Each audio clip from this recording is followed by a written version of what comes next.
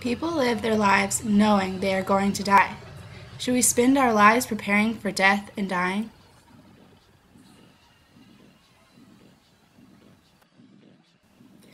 Is death the separation of the soul from the body?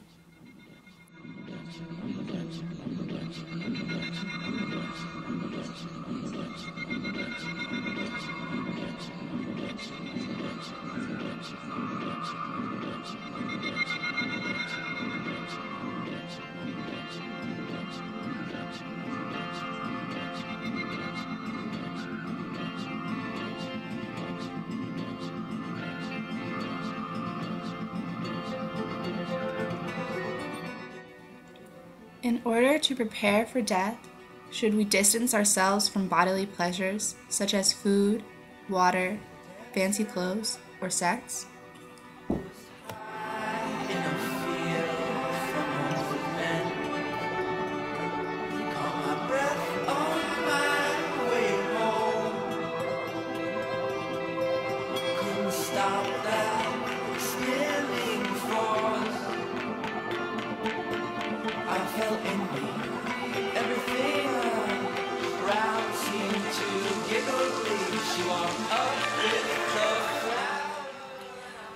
Happens to the soul after death?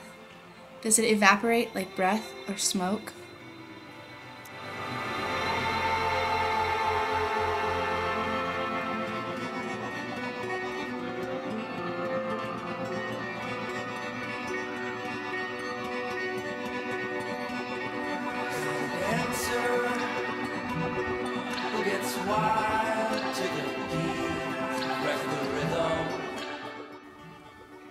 Or does the soul go to some other world and then return to this world in some other body?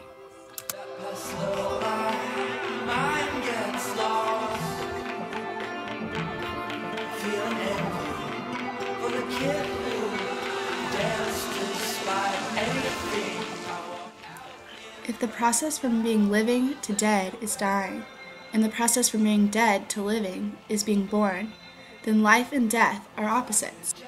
So maybe nothing is ultimately created or destroyed at birth or death, but change where opposites come into being out of one another.